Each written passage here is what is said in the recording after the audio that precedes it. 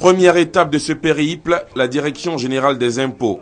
Abdurrahman Sissé et sa délégation ont passé en revue tous les services de l'administration fiscale pour ainsi toucher du doigt les mécanismes de fonctionnement des impôts avant d'enregistrer les doléances et objectifs des agents qui entendent mobiliser pour l'exercice 2014 près de 1600 milliards de francs CFA.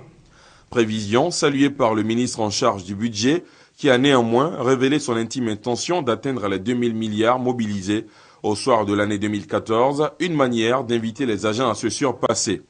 Après les impôts, une autre régie financière, les douanes ivoiriennes, maillon également très important dans la mobilisation des richesses nationales.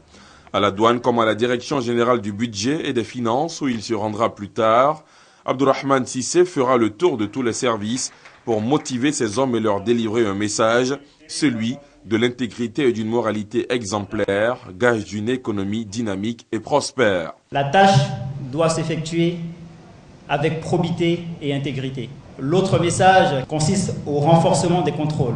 Sur la base d'un système déclaratif, il est nécessaire d'avoir des contrôles forts afin de nous assurer que nous avons un bon système de lutte contre la fraude. Outre à toutes ces entreprises placées sous sa houlette, le ministre en charge du budget s'est aussi rendu dans les locaux de l'entreprise Webfontaine, à qui l'État de Côte d'Ivoire a confié une activité bien précise. Une convention a été signée avec la société Webfontaine entre l'État de Côte d'Ivoire et la société pour mettre en place deux types d'outils. Un outil qui consiste à faire de l'analyse de risque et un autre qui est la mise en place du guichet unique du commerce extérieur.